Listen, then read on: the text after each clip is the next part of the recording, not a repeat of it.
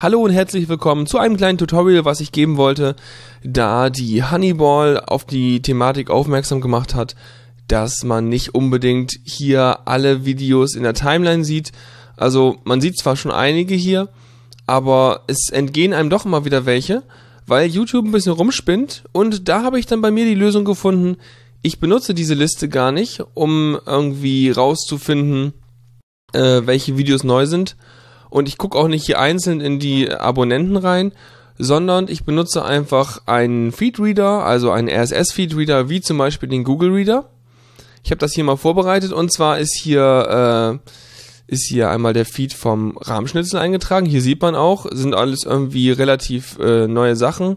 Hier als Datum steht jetzt gerade irgendwie äh, 12.23 Uhr äh, morgens, also 0 Uhr 23.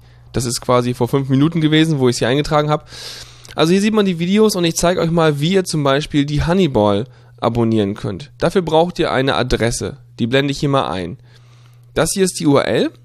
Die zeigt auf den RSS-Feed.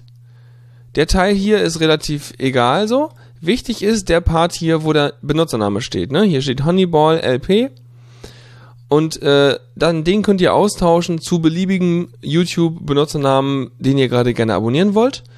Und dann markiert ihr das Ganze, kopiert es, geht in den Reader, sagt, klickt hier auf den großen roten Subscribe-Button, fügt die URL da ein, klickt auf Add und wartet, was passiert. Oh Wunder, oh Wunder. Und hier taucht der Feed auf. Und hier sehen wir schon das Video, ähm, das Infovideo. Und wenn hier neue Videos auftauchen, erscheinen sie hier auch als ungelesen. Das heißt, ihr seht auch immer, wenn es neue Sachen gibt. Und ich kann ja zum Beispiel auf Infovideo mal draufklicken. Sehen wir hier ein bisschen Info. Und klicken wir hier drauf. Und schon können wir uns das Video im Grunde anschauen. Genau. Ja.